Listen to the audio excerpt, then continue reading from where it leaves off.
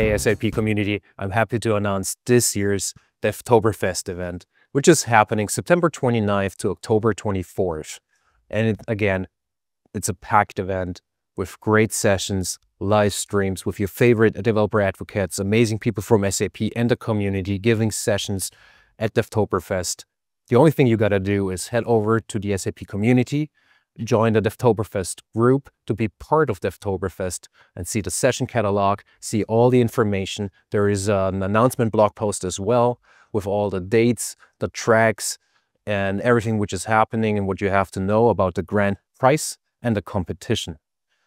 Also, we have the fun activities back this year where uh, my colleague Daniel is preparing some cool stuff there for you to enjoy and get entertained. And the only thing you really got to do is head over to the community, join the Devtoberfest group, and I see you there. Along with RAP, UI5 and CAP are two of the poster children of today's generation of SAP development toolkits.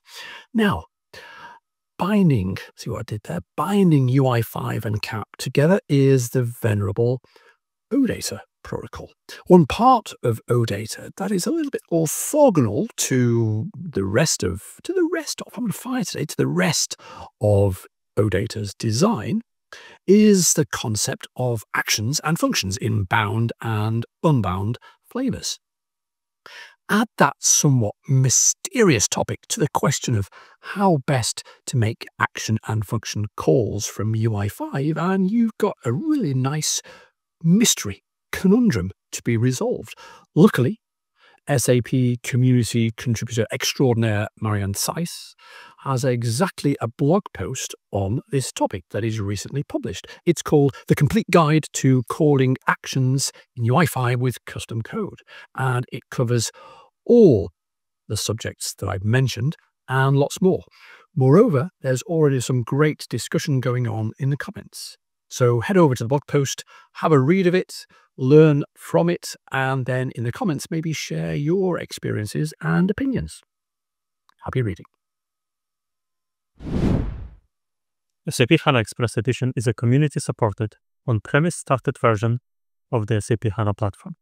This month, the latest release based on SAP HANA 2.0 SPS 08 has been made available.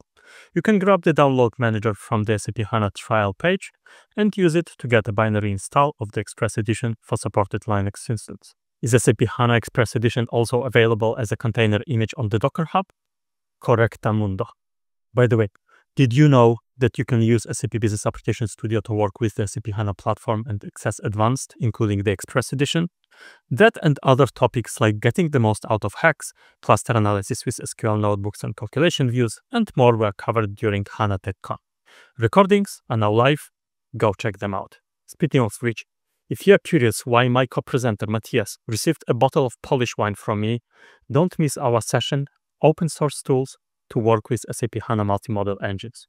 Toward the end, I demoed LangChain integration with SAP HANA Cloud Knowledge Graph Engine using Python. Want to try this hands-on? The first SAP CodeJam on this topic, Foundations of AI Applications with SAP HANA Cloud, is happening in Portal this September and then in Kuwait in October. Interested in hosting such an event?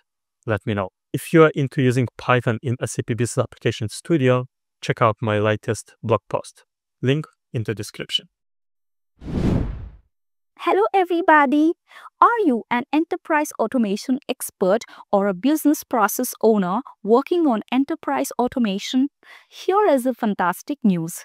You can now import business process model and notation BPMN files into SAP Build Process Automation and convert them into executable business processes. SAP delivers enterprise automation with SAP Signavio and SAP Build Process Automation solutions.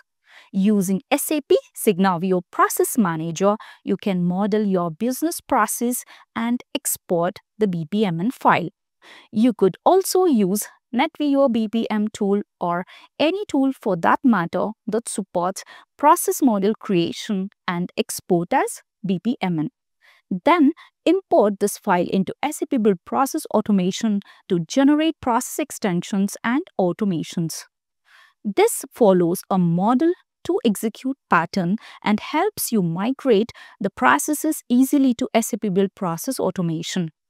If you want to understand how to carry out this task with a step-by-step guide with a business use case example, then do read through this excellent blog post by our enterprise automation expert Rama Murari. Link is provided in the description box. Keep learning and have a good time.